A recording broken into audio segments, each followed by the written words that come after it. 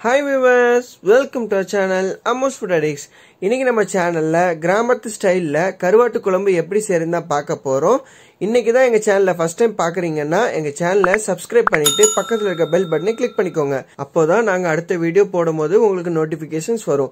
வீடியோவை ஸ்கிப் பண்ணாமல் ஃபுல்லாக பாருங்கள் வாங்க வீடியோக்குள்ளே போகலாம் குழம்பு செய்கிறதுக்கு ஒரு எலுமிச்சம்பழ சைஸ் புளியை ஐநூறு எம்எல் தண்ணியில் ஊற வச்சு கரைச்சிருக்கேன். இப்போ இதை நம்ம வடிகட்டி எடுத்துக்கலாம்.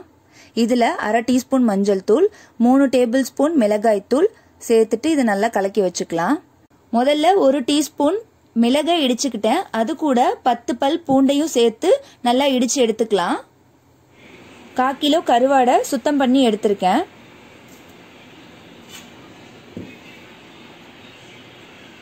பத்து சின்ன வெங்காயத்தை இந்த மாதிரி மீடியம் சைஸாக கட் பண்ணியிருக்கேன் ஒரு தக்காளி கொஞ்சம் கருவேப்பில்லை அப்புறம் இடித்த மிளகு பூண்டு.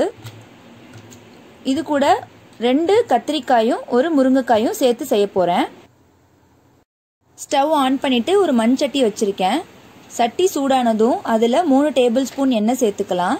எண்ணெய் காஞ்சதும் ஒரு டீஸ்பூன் வெந்தயம் சேர்த்துக்கிறேன். வெந்தயம் லைட்டாக செவந்ததும் இது கூட கட் பண்ணி வச்சிருக்கிற சின்ன வெங்காயம் சேர்த்துக்கலாம்.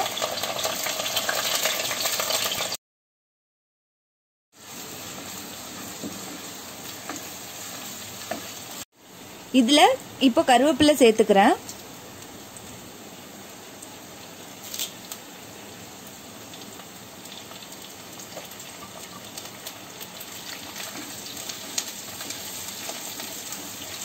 வெங்காயம் நல்லா ப்ரௌன் கலராக வதங்கினதும் இதில் கட் பண்ணி வச்சுருக்கிற தக்காளி சேர்த்துக்கலாம்.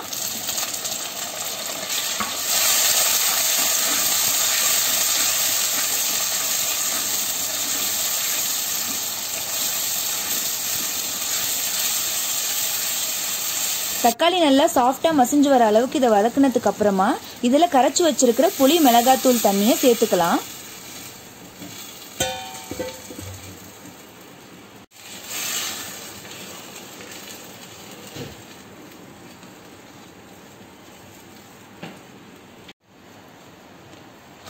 இது ஒரு கொதி வந்ததும் இதுல கட் பண்ணி வச்சிருக்கிற கத்திரிக்காயையும் முருங்கைக்காயையும் சேர்த்துக்கலாம்.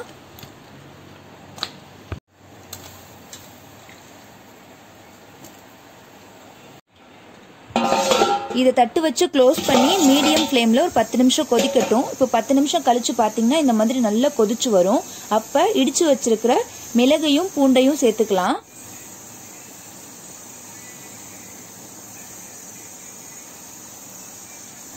சேர்த்துட்டு நல்லா கலந்து விட்டுக்கிறேன். இப்போ குழம்புக்கு தேவையான அளவுக்கு உப்பு சேர்த்துக்கலாம். உப்பு சேர்த்ததுக்கு அப்புறமா நல்லா கலக்கி விடுங்க. ஏற்கனவே கருவாடுல உப்பு இருக்கும். ஸோ உப்பு அதிகமாக சேர்க்க வேண்டாம். பார்த்து சேர்த்துக்கோங்க. இப்போ சுத்தம் பண்ணி வச்சிருக்கிற கருவாடை நம்ம சேர்த்துக்கலாம். இதை நல்லா கலந்து விட்டுட்டு ஒரு மூடி வச்சு இது ஒரு பத்து நிமிஷம் லோ ஃப்ளேமில் குக் பண்ணிக்கலாம்.